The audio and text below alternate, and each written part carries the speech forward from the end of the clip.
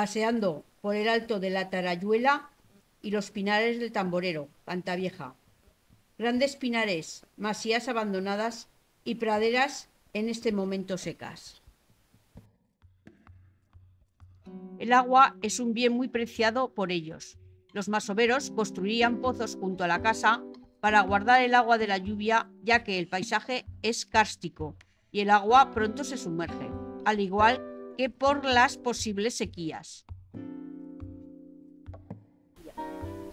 Llama mi atención la gran cantidad de conchas pétreas de almejas, esparcidas entre las praderas, lo cual nos habla que en tiempos remotos estuvo cubierta de agua. Una montaña que hoy se encuentra a 1800 metros de altitud. Al fondo se dibuja preciosa el puntal de Peñagolosa, la montaña más emblemática de la comunidad valenciana.